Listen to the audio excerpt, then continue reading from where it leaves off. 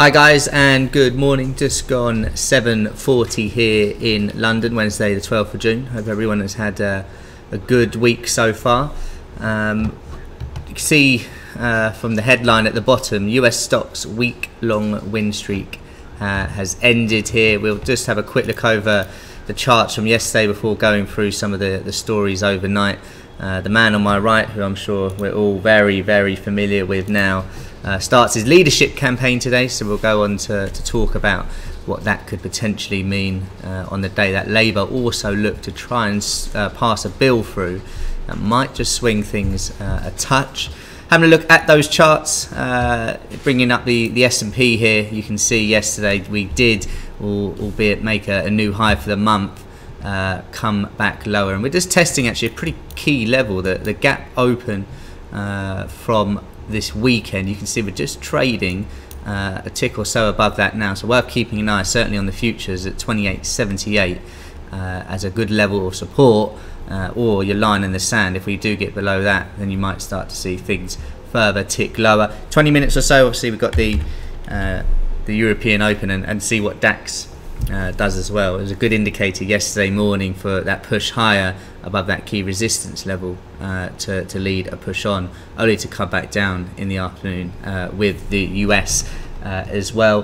What else did we, we have yesterday other than US stocks on the move? We had some data out of uh, the UK. You can see here just on uh, investing.com those numbers. If we zoom in here, the average earnings better than expected uh, including and excluding bonus 3.4 and 3.1%. Decent beats of, of expectations. The pound uh, had a decent enough move considering uh, usually off, off uh, these figures surrounding uh, still with, with, Brexit going on, the market doesn't give too much away. Uh, we did push higher above the pivot, went to, to test our one, which we talked about in the briefing yesterday as a good level of resistance. I guess the first test of it uh, around 11 held quite well before finally hitting it later on, and I would still have that marked up 127.37 uh, on the futures.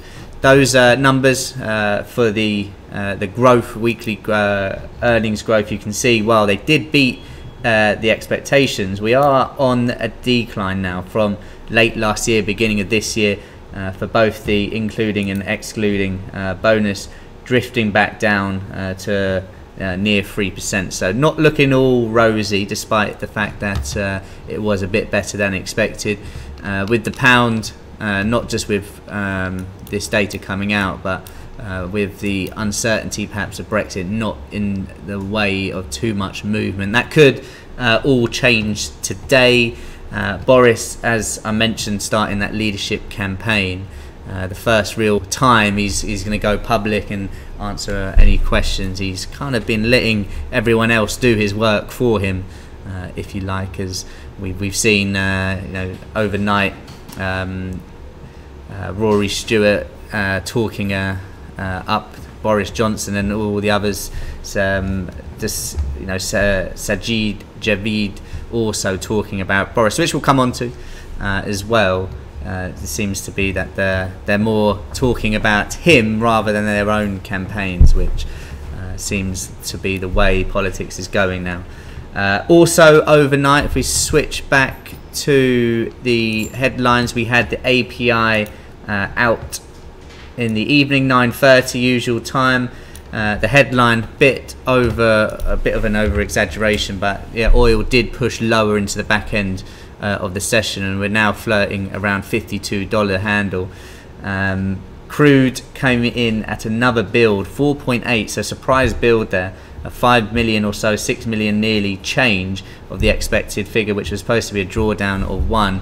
On the charts, how does that look? We can see near that $52 handle on the futures. If we put this back to last night and just circle the area uh, of the API, you can see a relatively limited initial first reaction. We have drifted lower ever since, uh, and there was some other comments out overnight uh, as well, which have uh, failed to reignite uh, the the crude oil to the upside. Uh, the idea that OPEC might be extending uh, the production cut just failing to to get oil higher. Oil drifting lower into the back end of the, the session, of course, didn't help stocks either. Um, but we'll uh, keep an eye on the DAX as that is just testing its low of the day as the S&P testing that gap fill. Uh, also this morning you can see very much risk off. T notes is bringing into the picture now up towards the high of the day. Keeping an eye, I know it would be very early in the morning, it would be a bit of a surprise if we were to do it, but the idea that we could push higher and then uh, fill the gap here as well on T notes would be worth keeping an eye on. Gold helped by a bit of a weaker dollar at parts yesterday, but more so due to the fact that stocks had been weakening. We pushed higher, and that has continued again this morning. And same for T notes, just like equities, keeping an eye uh, on these gap fills, whether there would be an opportunity to get short or it's long to, towards there, depending on your bias uh, as well, is worth keeping uh, a close eye on. As well, you've got the, the Japanese yen, which I'll just bring into picture, pushing higher quite nicely uh, this morning. R1 along with the high that we had back on Monday uh, worth keeping an eye on and yes you guessed it the idea that there could be a gap fill also uh, worth keeping an eye on. Also overnight uh, we had some numbers out of China for their inflation was in line the month for month slightly worse than expected uh, not the biggest way uh, in a reaction of markets uh, off those numbers, but we have drifted lower, of course, with equities at the moment. Uh, just snapping a win streak. Whether the longer term uh, sort of or shorter to medium term bias of stocks has changed, I'm not too sure. I think it's very much expected that uh, Trump and Xi are going to meet at the G20. Uh, but there has been some half negative comments overnight, which we will come on to in a touch, which might just be part of the reason why we have started to come and drift a bit lower. Uh, so Boris starting uh, his his campaign today, launching his campaign to become UK Prime Minister. Uh, quick look at the odds for the next Prime Minister uh, via odds checker here. You can see pretty much uh, odds on favourite. Boris Johnson, I think the best price you can get seven to ten. Uh, which or four to four to six. So yeah, less than evens. Jeremy Hunt second. Michael Gove has slipped back down to to 14s or 12s depending where you're looking. Um, but Boris very much the the favourite, starting his campaign uh, today with a promise to get Britain out of the EU on October the 31st. Of course, easier uh, said than done. Um, he is of all the of all the ten, uh, the one who has said by far the least um, about how he would tackle the biggest problem that is uh, that the nation faces. His uh, launch event will be the first time he has faced public questioning in months uh, and talk about how people have just been talking about him will do the work for him. Um, his, I think his his stance on Brexit over the over the months before was, you know, we will get out no matter what. No deal, perhaps, might be his favoured way, um, and if we go back to the pound, just looking from, if I just bring this up, showing here from the beginning of May, a lot of the, the down move has arguably been priced in for the uncertainty uh, with uh, obviously Theresa May leaving, Boris Johnson looking like the favourite to come in. We have had a bit of a recovery helped by the, the dovish Fed. Uh, I, I do still feel there is a bit of Boris Johnson no deal to be priced in uh, to these markets. He, you know, was staying last night uh, or recently, you know, according to his office. We must leave the EU on the 31st of October. We simply will not get a result if we give the slightest hint that we want to go on kicking the, da- the can down the road with yet more delay. Delay means defeat. Um, also, last night, and, and this is probably to be taken, actually, I would say definitely to be taken with uh, a pinch of salt. Uh, there was uh, a poll from uh, the Telegraph uh, stating that Boris Johnson, of course, for a 140 seat majority at general election if he becomes Tory leader. Of course, Boris Johnson, uh, you know, who has a, a, column at the Telegraph, this poll here may, uh, you know, well, is more than likely to, to be swayed in his favour. Just like if uh, it was the other way around and, and Osborne was running for something, you've got to imagine the Evening Standard would have him as favourite. So I wouldn't really read too much in, in, in the way of that. Uh, but here stating that 140 seat majority at general election if he was to run uh, at the next general election. Up for debate whether that would be true uh, or not. I mentioned a lot of other people have been doing the talking for him. I mean, if you're Boris Johnson, you're absolutely loving this. Uh, everyone that's coming out is talking about you. Uh, Javid yesterday uh, was was arguing how Johnson was the, the wrong choice. I believe now more than ever, uh, there is a moment for a new kind of leadership and a new kind of leader. Uh, a leader is not just for Christmas or just for Brexit. So we can't risk going with someone who feels like the short term comfort zone choice. We need tomorrow's leader today. Very, uh, very nice speech there from Javid. But I think with the way it's, it's, it's looking at the moment, Boris Johnson is going to be uh, a nailed on favourite. Uh, we'll come on to Labour's influence in this in a moment and how that possibly could change things. And that is something to keep an eye out uh, today, um, or later on today, I should say. Uh, also, you had uh, Rory Stewart, who by who has done by far the most talking, and fair play to him with all the videos he was doing, despite obviously getting caught with his hand uh, not actually filming himself. Uh, he's done uh, a lot of talking. It is quite fresh to see uh, a change from all of all, all, of recent times and, and, what politicians have been have been doing. he launched his own campaign on Tuesday evening uh, taking aim at Boris as well. I see everyone talking about him. It's just making him, you know, more and more popular, in my opinion. Um, I don't want to make this too personal, he said, without naming Johnson. But do you really feel that this is the person that you want engaging with the detail of the future of your health and education system? Is this the person you want writing the instruction to the nuclear submarines that you want embodying your nation at the world stage and guiding it through the most difficult choice that Britain has faced for 50 years? Uh, I mentioned yesterday uh, when uh, Boris was, was mentioning how he's going to raise the, the 40p tax bracket, how many texts I got from people uh, saying, yeah, I would definitely vote for, for Boris. His popularity is has gone has gone through the roof recently. He's the pop star of politics. Everyone knows who he is. People call him by his first name. You know, everyone was, you know, it's Theresa May, it's Boris, it's Bojo. Uh, he, I think, will win uh, a general election. I think the the poll that Telegraph are, are, stating here is obviously biased, but I think if it was to go down that route and he was to deliver Brexit, I think, to be honest, he's Conservatives' only uh, choice that they have of actually having a chance of winning the next election. Uh, if they were to, uh, of course, everything that's that's gone on, uh, I think has, has damaged Conservatives and Labour so badly. But I think they need Boris, uh, as mad as that sounds. Um, we also have what, what could be quite interesting uh, today is Labour seeking to block the No Deal. So this vote, uh, as or Labour, have, if you can see here, have tabled a cross-party motion uh, to try and stop a future Prime Minister pushing through No Deal Brexit against the wishes uh, of the the MP. So this could be quite key if this was to get past and come the 31st of October, the idea of a No Deal uh, is, is say off the table. Well, the new leadership, uh, or the person they get in for, for the leadership, may then start to, to get swinged. If if it if this no deal was off, well, suddenly if we go back to uh, those odds, Boris, Hunt, Gove, uh, Leadsom, who have all talked about a no deal, well, suddenly they're not going to be able to do anything. They're not going to be able to have that uh, that influence uh, by taking this hard stance that they may well do with Europe and say, listen, come what October, if we haven't got anything, yeah, we're gone.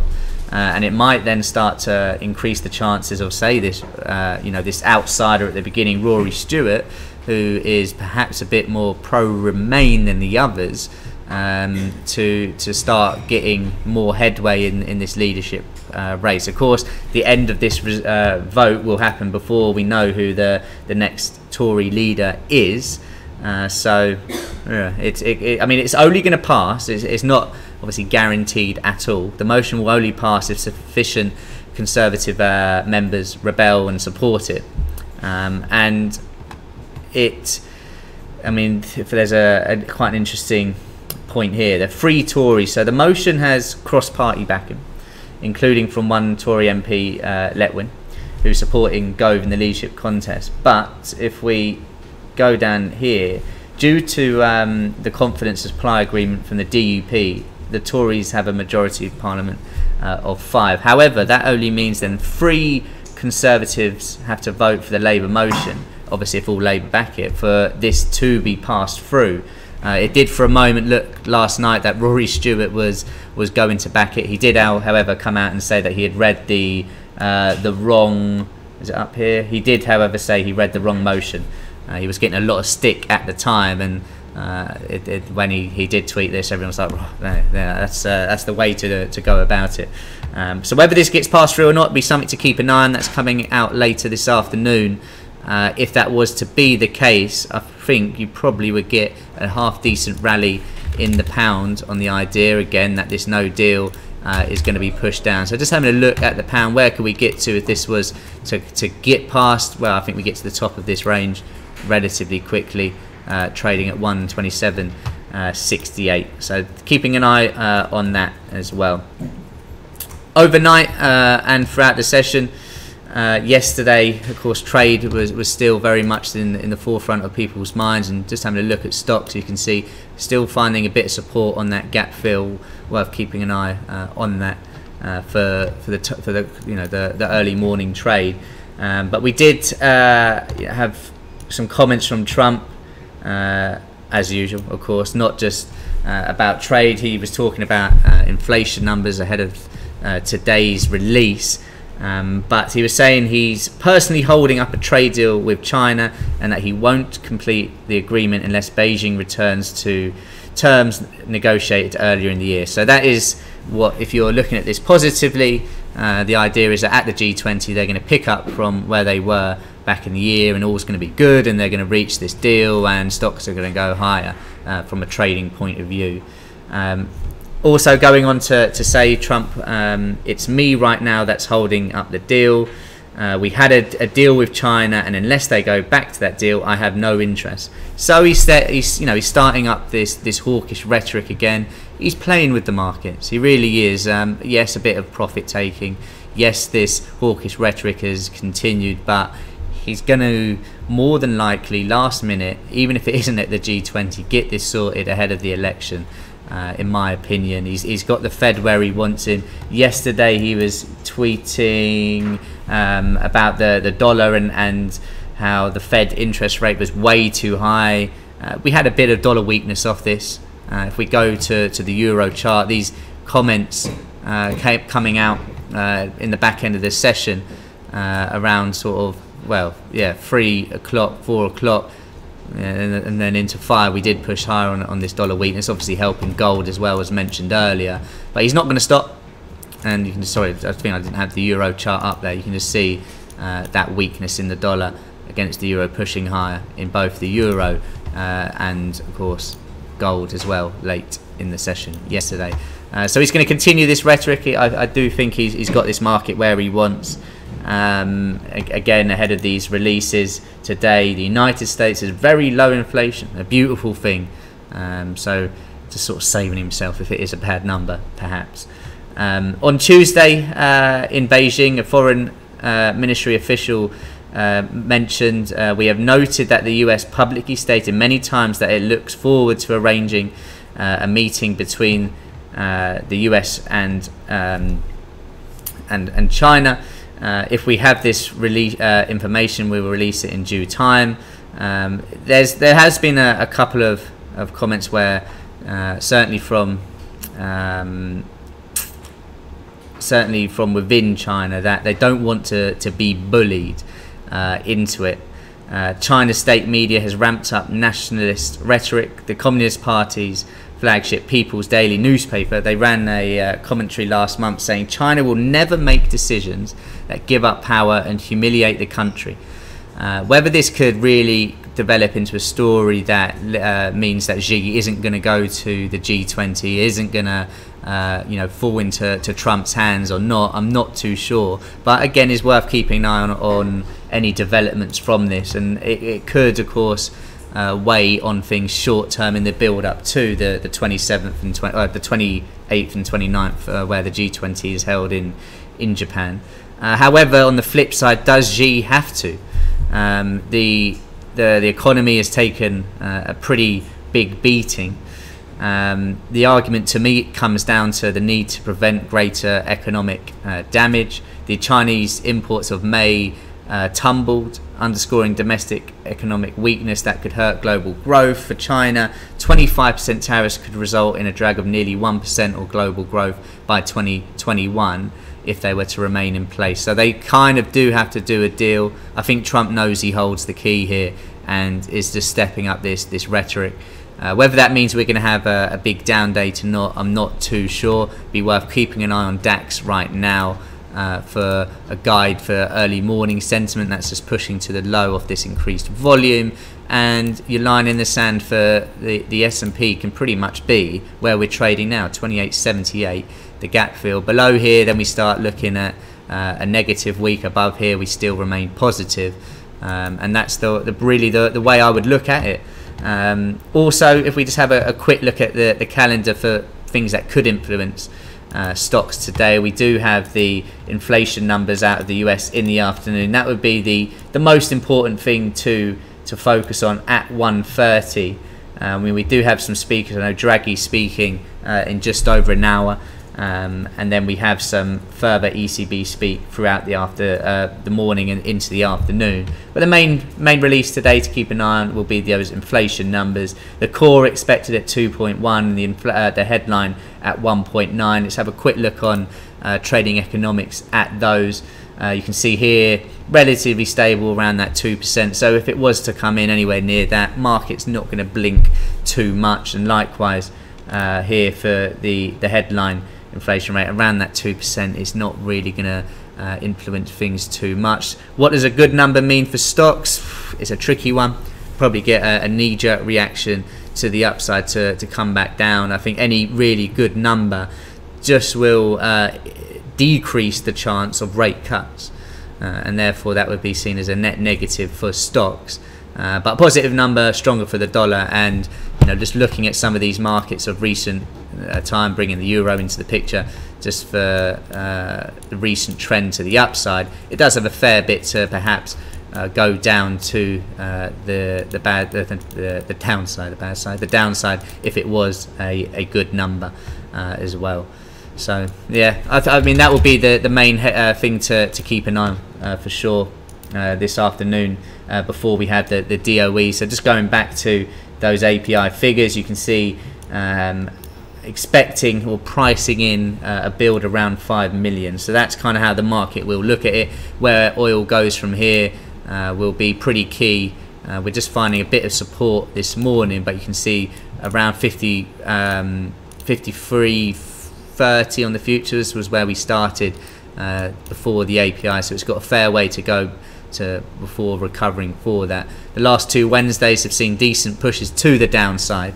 Uh, and we were to have a similar move as we did for last Wednesday's DOE, uh, we'd be back down near uh, the low that we have had uh, as well. Those speakers, just uh, to, to carry on with there, you've got uh, Draghi 9.15 uh, and Coeuré into the afternoon speaking twice at 1.15 and also 4 o'clock.